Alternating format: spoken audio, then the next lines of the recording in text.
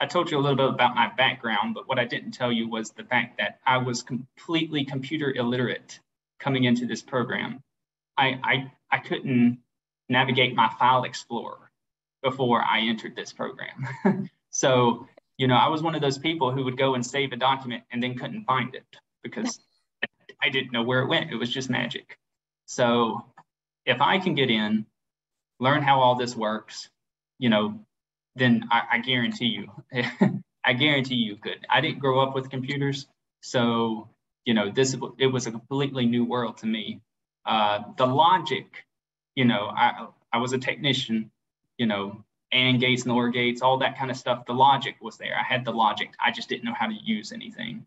Uh, and so, you know, uh, you know, it, it this program does is it it is an intense program. Uh, but if you really buckle down, you you study, you know, uh, I don't see there being any reason you won't get through it. You know, I know it does get frustrating at times, uh, especially when you have a question that uh, you just can't even figure out how to ask it. There's a lot of that, uh, but you know it. You know it, it that's going to be your career.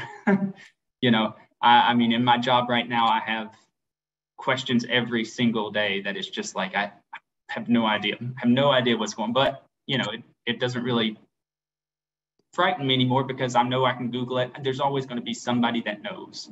Um, and so, you know, it's just up to you to kind of put in the initial legwork to try to figure it out. And if you can't, then figure out who does know it.